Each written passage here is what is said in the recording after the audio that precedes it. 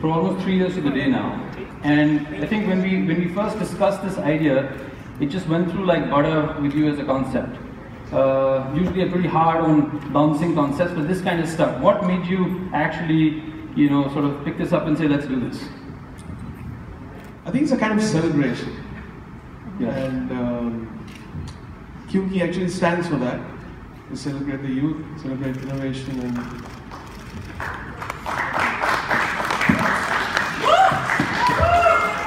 Thank you. That's the QP team clapping. why would all these people come together without fighting? Because I think under the umbrella of QP, we have achieved that. It's a great thing. And the world needs this now.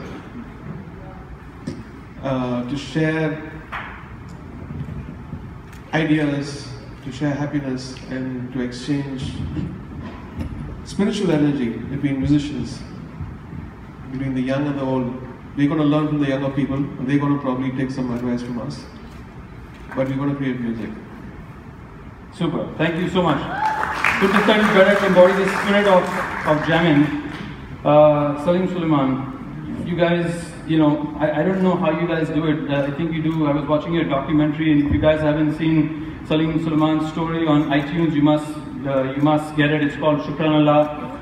And the opening line of that is 80 gigs a year or something like that. And still, we have launched so many digital tracks with you that you create for the, you know, for the online audiences. Uh, most recently at Eid, Noor Elahi with Abida Parveenji was phenomenal. How do you make the time? What's the discipline to get you to actually focus here as well as what you're doing in your real lives? It's really, I mean, I, I, quite honestly, I feel like I'm on a vacation for the past 25 years. I really don't think I work. Uh, you know, we're really blessed that we do music. It was like that back in college also when we seemed like we yeah, back then. um, uh, you know, I, it's, I mean, I, before I sleep, I'm thinking about it. Just when I wake up, I, you know, I'm talking to Sulaiman about let's do this and let's do that.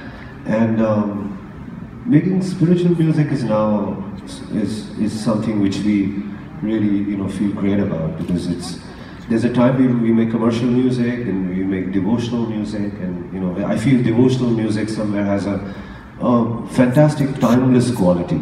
So every year we do that. Uh, you know, uh, the month of I mean just uh, the eve of Ramadan Eid we release a devotional track. Um, this is a great moment for us to uh, you know music is also a beautiful knowledge. It's a lot of it's it's it's, it's great power. You know, um, I always look at it like learning, interacting with.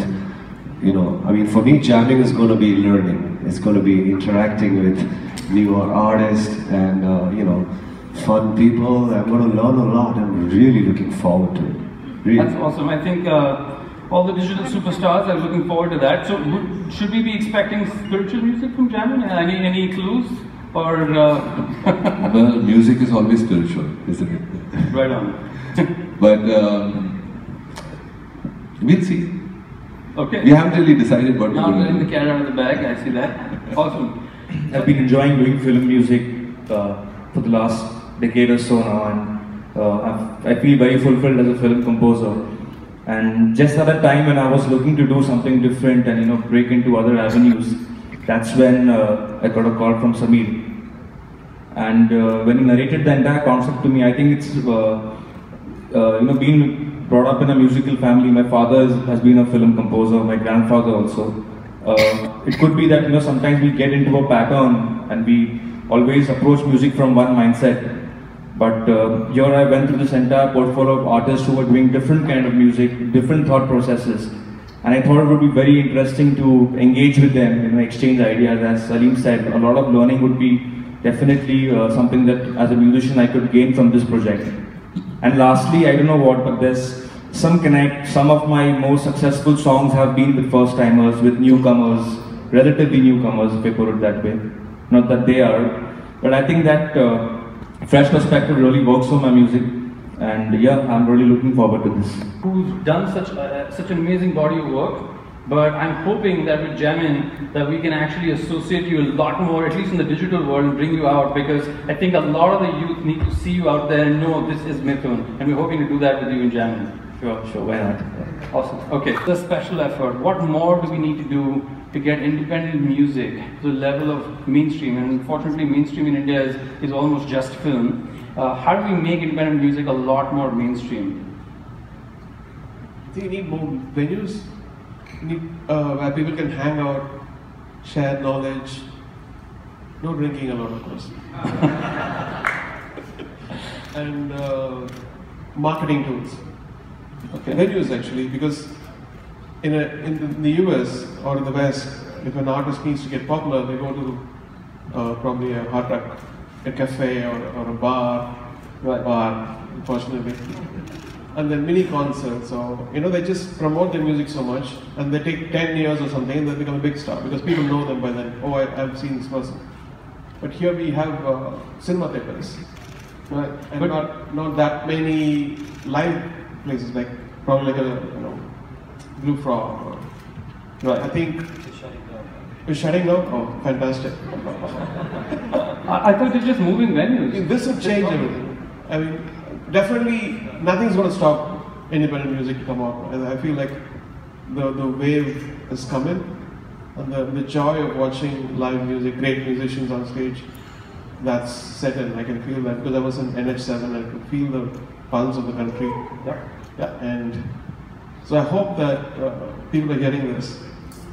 Whoever is loaded with money, kind of build venues, little places where musicians can hang out, spread music and love. Yeah, and we'll stream that all live on YouTube, Satya. Yeah, yeah, definitely. definitely. Uh, can I ask uh, sir a question? Oh, of course. Because I've been practicing Please ask sir a this morning. question. Yeah. Sir, yeah. Sir, எப்- எப்படி இருக்கேன்? எப்படி இருக்கேன் நல்லா இருக்கேன் Great. No, thank you so much. I want to ask you a simple question. Uh, you must be seeing a lot of YouTube and people singing in many different languages. Uh, what are you seeing from coming coming out from different parts of the country on YouTube? Uh, I think there's no gatekeepers, which is fantastic because there's one place where nobody's controlling anybody. So nobody can blame this person trying to suppress me, and all that is gone. If you have talent, you come up. Absolutely. And uh, if people like you, of course, the mean comments are always there on YouTube. Just have to ignore all those.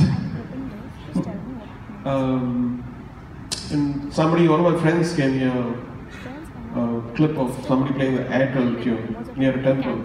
I put that and he got some thousands of views. And that's the power of, you know, YouTube in a way. Um, in these days, in troubled times today, I think one song can change people's lives, create an understanding, uh, provoke, provoke a great thought. Many beautiful things can happen. I feel like this, people on stage should take that as a challenge we're not only about love songs. So do songs which are beautiful, which could, you know, create a thought or change a course of prejudice or stigma and unify people in a way. Make them understand that there's a larger thing about humanity. And um, that's what is missing. I feel like a vision to create a song. There's no imagine now. In India, I think Indian artists should do that. I think that is the whole power of independent music.